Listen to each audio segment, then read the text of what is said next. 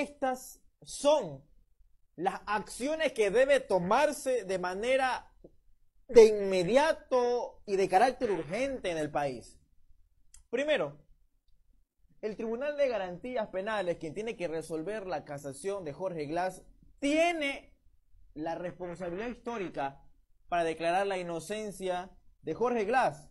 No solamente eso, también hacer la debida reparación y restituirlo en su lugar, en su puesto, que el pueblo ecuatoriano lo dejó como vicepresidente constitucional de la República.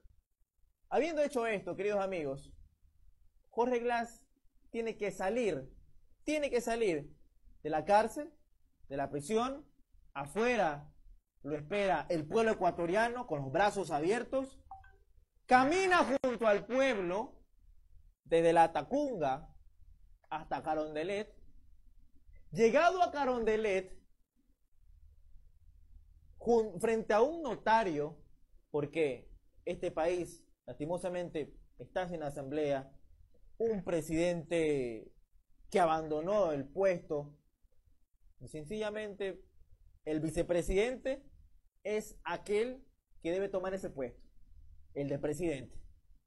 Estando frente a un notario, con la mano en la Biblia y con el soberano, con el pueblo, el único que puede investir a alguien como presidente de su país, recibe el cargo y, mediante decreto, empezar a gobernar.